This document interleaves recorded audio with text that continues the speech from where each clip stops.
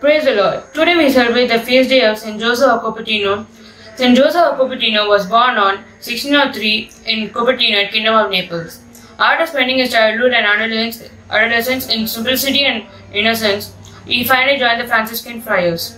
Joseph was purported to be a slow learner and absent-minded. He was put to the friar's habit and was put to hard time at taking care of horses. Although Joseph began to change, he grew in humility and gentleness and voluntarily did acts of penance.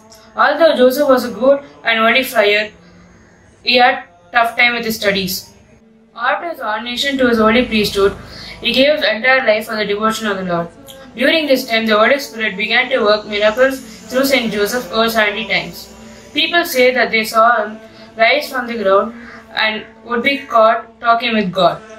Saint Joseph died on 18 September 1663 and was canonized by Pope Clement XIII on 1767.